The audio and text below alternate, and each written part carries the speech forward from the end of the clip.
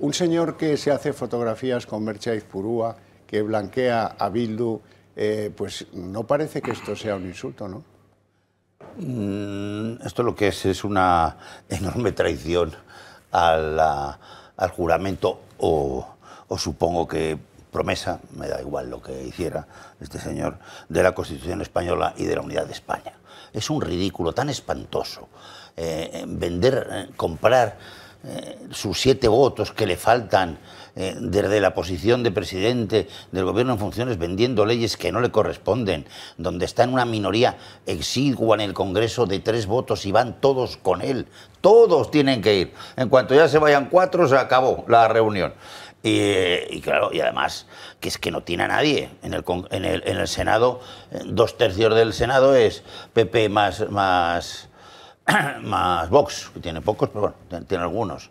En, en, los ayuntamientos de España, pues no tiene casi ninguno. El que le regaló el PP en Barcelona, que es un regalo, que puede ser provisional, porque yo no sé, igual lo pide también eso. O sea, no tiene alcaldes, ni Sevilla, ni Madrid, ni Valencia, ni Elche, ni Cartagena. Es que no queda nada nada de nada. Ni Sevilla, ni Málaga, ni Córdoba, nada de nada, de nada, de nada. Entonces, este señor es un irresponsable. Con esta limitación de ejército, intentar dar un golpe o golpecillo, porque esto no será ni golpe, porque jurídicamente no va a ningún lado. O sea, haga lo que haga, señor. Eh, señor Sánchez, es, eh, es nula.